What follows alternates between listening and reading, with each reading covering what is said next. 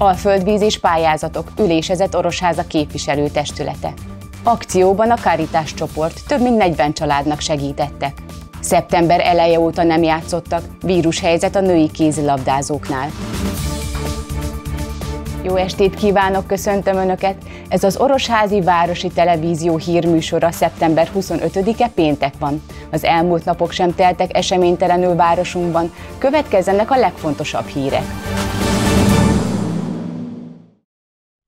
Összesen 28 napi rendi pontot tárgyaltak a képviselők a szeptember 24-i testületi ülésen. Szó volt többek közt az Alföldvíz ZRT alaptőke leszállításáról és több a várost érintő top pályázatról is.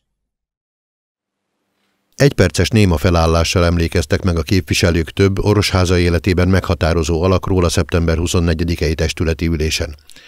Nemrégiben hunyt el dr. Berecki István korábbi jegyző, Sonkolyos Károlyné a díszítőművészeti körvezetője és Sós Ferenc egykori hivatali sportfelügyelő. Szintén még az ülés előtt kérte fel Dávid Zoltán polgármester Sebők Évát, hogy indokolja sürgősségi előterjesztését, amely a környezetszennyező fűtési módok visszaszorításáról szólt. A közösen Orosháza városáért frakcióvezető helyettese nem kapta meg a kellő támogatottságot, hogy megtárgyalják előterjesztését. Az első napirendi pontban az Orosházi Járási Hivatal előző évi tevékenységéről hallgattak beszámolót a képviselők. Dávid Zoltán polgármester megköszönte a hivatal munkáját, amivel segíti az orosházi polgárok ügyeinek intézését.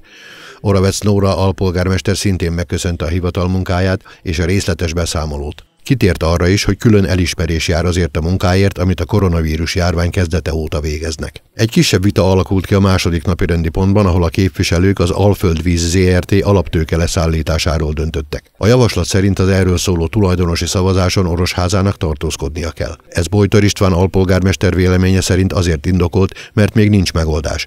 Elmondta, hogy amint kiderül, mi a helyes és támogatható megoldás, azt fogják támogatni. Ezen az ülésen tárgyaltak több terület- és településfejlesztési operatív program keretében zajló pályázatról is. A projektekért november óta felelős Molnár Béla alpolgármester felmérte, hogyan kivitelezhetők a beruházások. Molnár azt javasolja, hogy a jelenleg kialakult helyzetben ne vállalja túl magát a város azzal, hogy jelentős összegű önerőt biztosít a pályázatokhoz. Ezen napirandi pontnál többször alakult ki heves vita. Ismét tárgyaltak a humán szolgáltatások fejlesztése a társadalmi felzárkózás érdekében elnevezésű EFOP pályázatról. Ezzel kapcsolatban Oravec Nóra alpolgármester elmondta, Orosháza teljesítette a vállalt feladatokat. A képviselők megegyeztek, hogy amennyiben az ügyben elmarasztaló ítélet születik, akkor a felelősökkel szemben polgári pert indítanak. Az ülés további részleteiről az Oros Cafén olvashatnak. Különleges vendéget fogadott szeptember 22-én az Orosházi Rotary Klub. Az országos szervezet 2020-21-es évének kormányzója Himer László látogatott a városba. Szeptember 22-én fogadta a Rotary Országos Szervezetének kormányzóját Himer Lászlót Dávid Zoltán polgármester és Poják János az Orosházi Rotary Klub 2020-2021-es évének elnöke a polgármesteri hivatalban. A Magyarországi Rotary District kormányzójának ugyanis az egyik fontos feladata, hogy az ország összes klubját végiglátogassa. Ez 54 klubot és mintegy 1200 klubtagot jelent. Nem volt ez másként idén sem. Himer László elmondta, örömmel érkezett Orosházára, hiszen egy patinás, jól működő egyesületet látogathatott meg. Most jött el az idő arra ebben az évben, ebben a Rotary évben, hogy Orosházára egy kormányzói látogatást tervezünk, és ugye eljöttem ehhez a klubhoz, amely egyébként Magyarország egyik legpatinánsabb klubja, azt hadd mondjam el, hiszen 1930-as években alakult itt, és Magyarországon hát nagyon-nagyon korai volt a 30-as években, amikor ez a szervezet megalakult. Ezt Poják János is megerősítette, aki az Orosházi Rotary Klub 2020-as évre vonatkozó céljait is ismertette, melyre a koronavírus járvány alakulása is nagy hatással van. Ezért továbbra is a tehetséges fiatalok és a rászorulók irányába fordítják figyelmüket. Létrehívtunk néhány évvel ezelőtt egy tehetségdíjat, amelyben az a város két nagy középiskolája részére nyújtunk lehetőséget jó tanulmányi eredménnyel rendelkező diákok elismerése eh, céljából. A másik ezévi kiemelkedő projektünk a Vezliános eh, hátrányos helyzetű fiatalokat eh, nevelő intézményének a digitális oktatásban való jobb részvételéhez eszközöket fogunk biztosítani egy disztrikt pályázaton keresztül. A találkozón részt vett dr. Zsótér Brigitta, a Rotary délalföldi vezetője, aki szintén büszkén mesélt Békés megye egyetlen Rotary klubjának működéséről. Van egy klubunk Hódmezővásárhelyen, Szentesen és Csongrádon egy összeg, van klub, van Szentes Csongrád Rotary Klub, van egy Mórahalmon és három Szegeden, a Szeged Dóm, a Szeged Tisza és a Szeged Szent György Albert Rotary Klub. És az országos szinten durván 1100-1200 fő között van a tagság. A Délalföldön 200 rotaristát tartunk nyilván és nagy büszkeségünk az Orosházi Klub, ugyanis ők az egyetlen Békés megyei klub. Dávid Zoltán polgármester is elismerően szólt a Rotary tevékenységéről, hangsúlyozva, hogy minden támogatást megérdemel a szervezet és a céljaik, mely mögé mindig jó odaállni és örömet szerezni vele másoknak.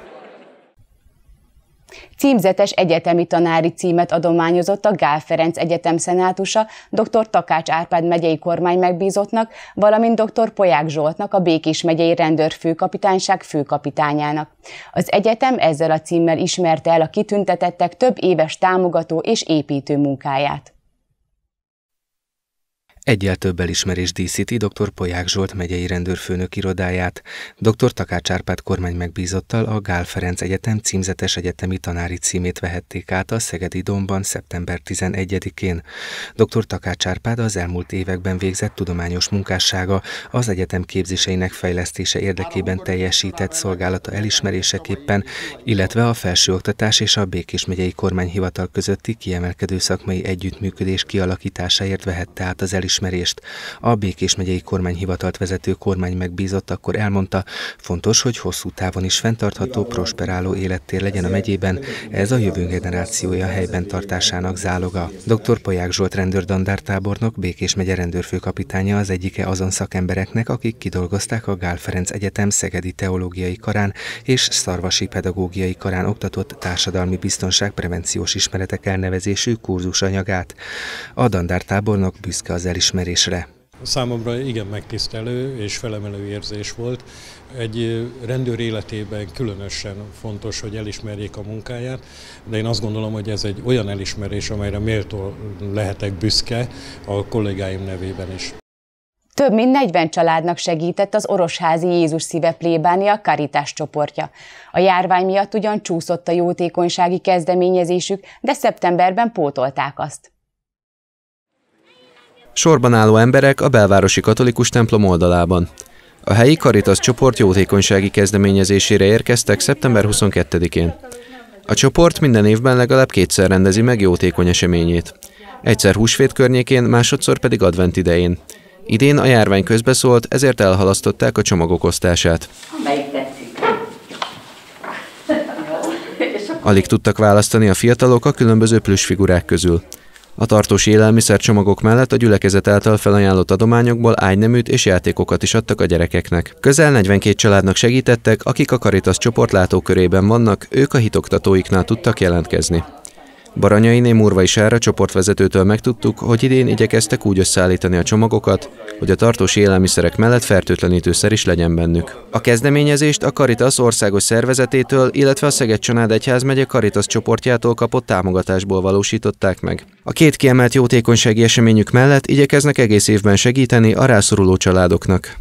Szeretettel várunk minden rászorulót felekezeti hovatartozás nélkül csütörtökönként délután 3 és 5 óra között a Széchenyi tér 1 percé, ez egy bérházi épület, ez a úgynevezett régi plébánia épületébe, és ott bárki jöhet és válogathat ruhaneműt. Legfőképp ruhanemű, gyerekjátékok is most vannak, de ez általában azért nem jellemző. Idén, szeptember 25-én több iskolában is diáksportnapot tartottak. A kezdeményezéshez a Kossuth iskola is csatlakozott. Az intézmény diákjai futással vették ki a részüket a programból, 2020 méter teljesítettek. Miután meghallgatták a rendőri instrukciókat, indulhat is a rajt. Egy nemzetközi kezdeményezéshez csatlakozott néhány éve a Kossuth iskola, a diák sportnapból minden évben futással veszik ki a részüket a tanulók.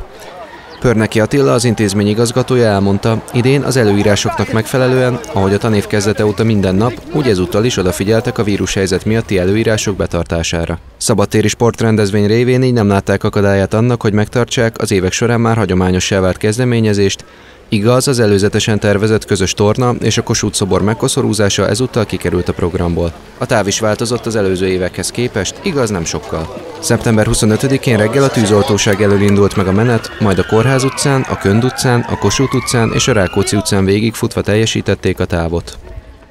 2019-ben 2019 métert futottunk, most pedig 2020 métert futunk.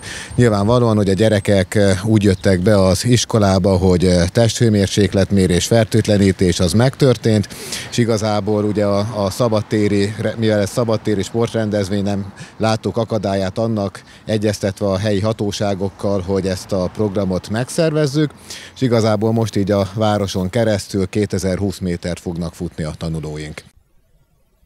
A vírushelyzet nagyban befolyásolja az orosházi női kézilabdázók szereplését. A Magyar Kupa továbbjutás óta nem tudtak bajnoki mérkőzést játszani Herbert Gábor tanítványai.